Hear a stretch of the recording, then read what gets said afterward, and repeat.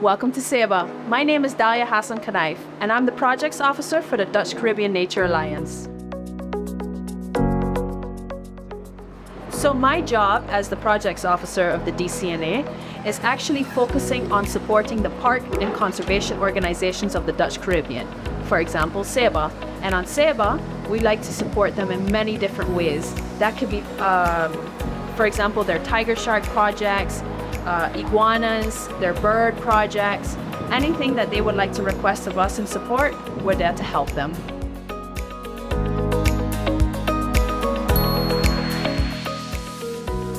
The part I like most about my job is project management and dealing with such a variety of people. I love talking to people, I love nature, and the fact that I can combine those two in my job is amazing.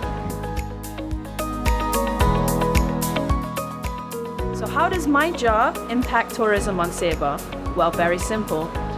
We make sure that nature stays safeguarded so that the tourism can thrive. Throughout uh, the Caribbean, this is what tourism is attracted to, is the nature of the islands. So we make sure that the nature stays good and the tourist stays happy.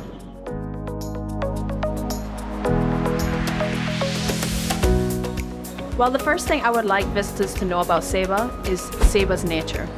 What people don't realize is that the nature of Saba is quite special actually, not just locally, but regionally as well.